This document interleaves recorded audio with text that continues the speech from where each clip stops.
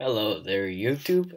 In this video we are going to discuss how to quit the application finder. And in this video we are going to be doing it in macOS Mojave and I will show you how to do it without needing to force quit.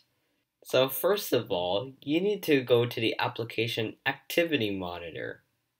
All you have to do is open Spotlight Search by clicking the search icon up here or doing command space, type activity monitor, or open a new finder window, go activity monitor, like this Mac, and double click on it to open. Alright, so once you open up activity monitor, all you need to do is select finder, click the X icon here, or in different versions of Mac OS 10, it'll just show the stop icon, like the stop uh, octagon in red and uh, it could say stop process. Otherwise, if you're in the more modern versions of macOS like I am in Mojave, you just have to see this octagon logo with the X. Force a process to quit. It doesn't necessarily mean you will force a progress to quit. You select Finder, click this.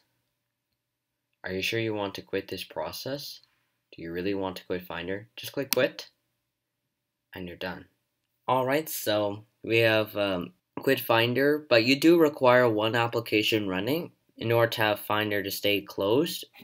And in the dock here, there's no dot under the Finder logo. In the Command Tab menu, there's no Finder, even force quit. There's no Finder but if you do quit all the other applications you have running, and you have, if you like, let's just say you had only Activity Monitor running, if you closed it and you had no other application running, it would just reopen Finder. If you want to switch to your web browser or something and not open Finder, open your uh, other application first, then quit Activity Monitor using right clicking it and selecting quit. And that is how you quit Finder. Thank you for watching this video. Please subscribe to my YouTube channel to support it, and click the bell to get notified about my tutorials and videos. Thank you for watching and have a nice day.